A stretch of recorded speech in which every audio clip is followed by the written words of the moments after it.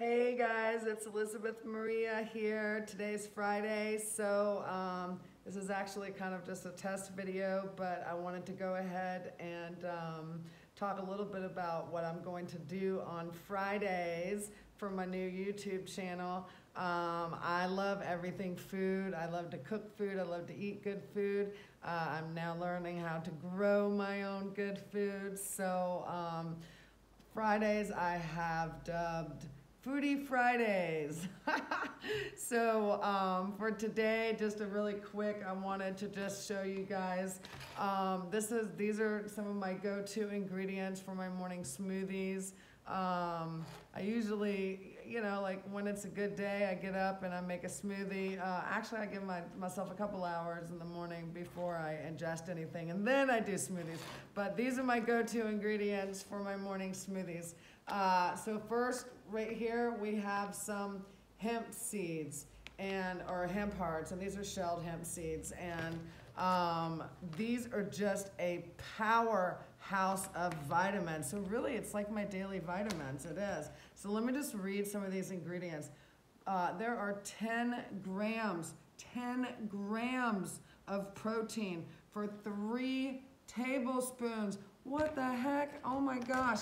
And then there's also, uh, uh, let's see, calcium, iron, 20% of your daily iron, potassium, thiamine, riboflavin, vitamin B6, folate, phosphorus, magnesium, and uh, what is it, Mag magnesia? I'm not really sure about that last one, but, but all just vitamins and minerals that your body needs, right? And so this is, I mean, it's kind of expensive, not that much. I mean, maybe this is about $10, but it's only three tablespoons per serving. So this is pretty much, you know, my vitamin, right? So I put three tablespoons of this in and uh, vitamins, minerals, and then, and I only have a little piece left but I always add some ginger to my smoothie. I mean, not always, but when I have it, I add ginger. It's really good with blueberries.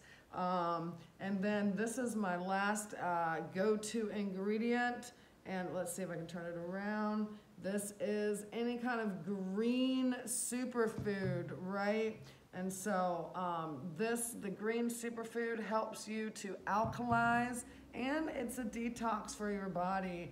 Um, so, you know, our body can pretty much exist between a um, acidic state or a alkaline state. And so alkaline is optimal for health and vitality. And so, you know, all of your dark green leafy vegetables are gonna be good. And this is just, you know, an excellent kind of quick powder. I do, of course, use spinach or kale in my smoothies as well, but this is just, you know, it's good. I do a lot of traveling, I'm on the go, and so, um, and neither of these products, this is not an endorsed thing, this is just what I ah, so believe in, and I'm so just blessed to, um, you know, I've, I've been on it. Well, you don't know because this is my first video for this, for this, um, for Foodie Fridays. But anyway, so some of the ingredients in this um, is wheatgrass, barley grass, alfa alfalfa grass, spinach, kale, broccoli, um, leeks, asparagus, parsley leaf, aloe vera. I mean, it just goes on and on. There's no sugar, no funky stuff, like no fillers, you know, nothing. No like, you know, things you can't really pronounce unless like me and you have kind of trouble pronouncing things anyways.